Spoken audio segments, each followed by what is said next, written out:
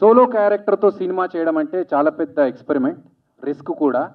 అది అబ్బాయిలు అయితే కానీ అమ్మాయి కాబట్టి అమ్మాయిని రెండు గంటలు రెండున్నర గంటలు మొత్తం ఫుల్ ఫ్లెడ్జ్గా చూసుకుంటూ కూర్చోవచ్చు. దాంతోపాటు ఆవిడ వాడిన కొన్ని డైలాగ్స్ చాలా ఇంట్రెస్టింగ్గా ఉన్నాయి. ఫోన్లో మాట్లాడుతున్న కొన్ని dialogues hope you understood what I'm saying and అలాగే మిగతా వాయిస్ ఓవర్స్ ఎవరైతే పెద్ద పెద్ద యాక్టర్స్ మనకు నాగబాబు గారు తనికెళ్ళ భరణి గారు సునీల్ అన్న సో పెద్ద పెద్ద ఆర్టిస్టులు అందరూ కూడా వాయిస్ ఓవర్ చెప్పడం ద్వారా ఈ సినిమాకి ఒక ప్లస్ అవుతుంది.